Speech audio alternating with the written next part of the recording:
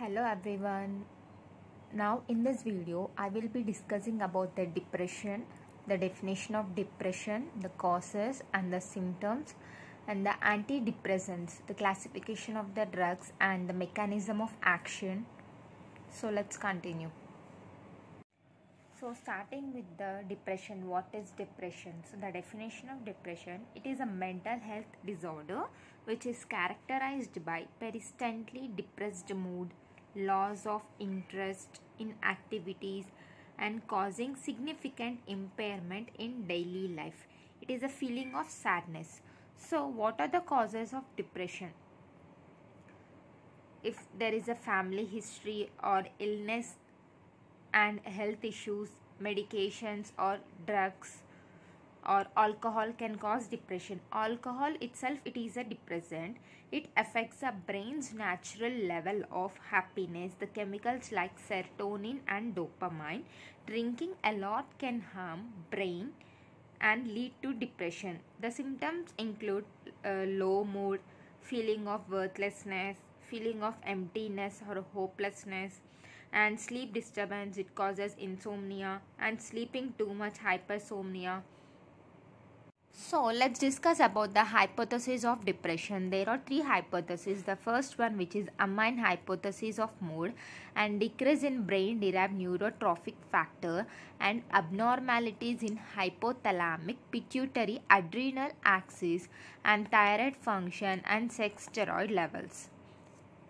So now let's discuss the drugs used for depression. The goal is to increase the level of monoamines such as such as serotonin, noradrenaline and dopamine.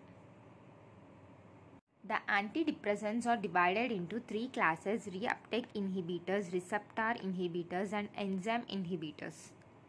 Starting with the reuptake inhibitors, we have reuptake inhibitors are divided into four classes again. The first one which is tricyclic antidepressants and the second one which is selective serotonin reuptake antidepressants and the third one which is serotonin noradrenaline reuptake antidepressants and the fourth one which is noradrenaline dopamine reuptake antidepressants. So starting with the tricyclic antidepressants we can remember these drugs with the mnemonic antidepsy so a stands for amitriptyline n stands for nortriptyline tri trimipramine imipramine desipramine and e is nothing and p stands for protriptyline and clomipramine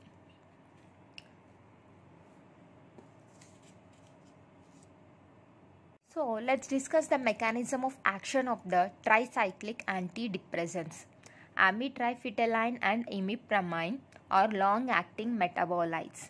So let's see the mechanism of action. These tricyclic antidepressants block the norepinephrine reuptake and the side effects include adrenergic overstimulation. They block the serotonin reuptake and they cause the serotonin syndrome this serotonin syndrome occurs when tricyclic antidepressants are used along with the selective reuptake inhibitors okay? And the three unwanted actions of the tricyclic antidepressants are they block the alpha 1 receptor alpha 1 adrenergic blockade which causes the postural hypotension and H1 blockade which causes the sedation and confusion and the muscarinic blockade which causes the atropine like side effects. To the selective serotonin reuptake antidepressants we can remember the drugs with the mnemonic FCPS. F stands for fluoxetine, C stands for citalopram citalopram and P stands for paroxetine, S stands for sertraline. The mechanism of action is in the name itself we can understand that they selectively block the reuptake of serotonin and there is no blockade of alpha 1 receptors, H1 receptors and muscarinic receptors and they cause insomnia and impotence.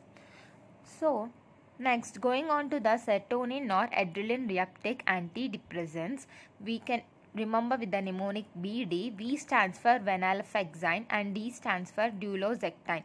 So the mechanism of action is they will inhibit both serotonin and noradrenaline reuptake and no side effects. So, coming to the last one, which is noradrenaline dopamine reuptake antidepressants, we have one drug that is bupropion.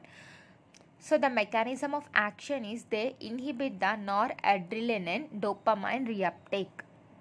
Moving on to the second group of drugs of the antidepressants, we have receptor inhibitors and we have three drugs that is tra- trazodone, mianserin, mirtazapine. So, the trazodone mechanism of action is it blocks serotonin receptors and it has adrenergic receptor blockade activity. So, moving on to the second drug which is mianserin, its activity is to increase the noradrenaline release by inhibiting the alpha 2 receptors.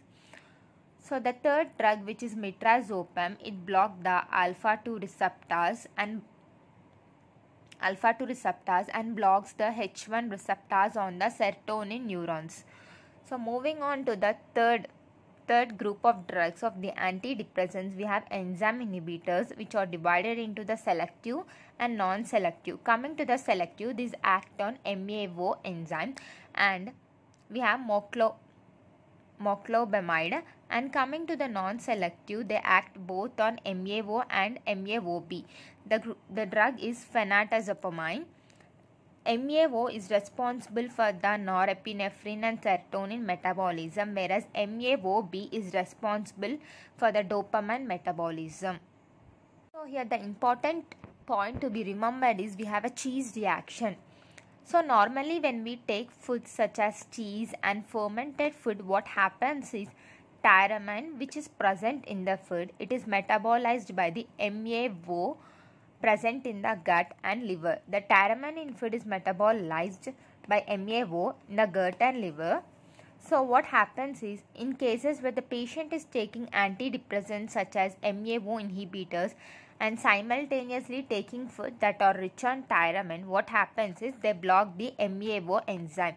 So tyramine will be in the large amounts, enters the general circulation and releases the large amounts of catecholamines which causes the fatal hypertensive crisis and cerebrovascular accident. So, this is the classification of the antidepressants. So, let us review on the classification of the drugs. So, here we can see the drug classification antidepressants. It is divided into the reuptake inhibitors, receptor inhibitors, enzyme inhibitors. Reuptake inhibitors divided into the tricyc tricyclic antidepressants. We have amitriptyline, nortriptyline, trimipramine, imipramine, desipramine, protriptyline and clomipramine. So coming to the selective serotonin reuptake inhibitors, we have fluoxetine, citalopram, paroxetine, sertraline. So coming to the selective noradrenaline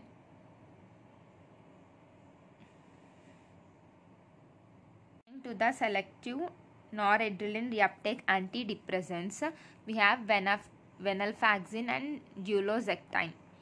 So coming to the noradrenaline dopamine reuptake antidepressants, we have bupropion. So coming to the second group of drugs that is receptor inhibitors, we have three drugs trazodone, mianserin, mirtazapine. Coming to the enzyme inhibitors, we have selective and non-selective. Selective we have moclobemide and phena, phenatazepamine.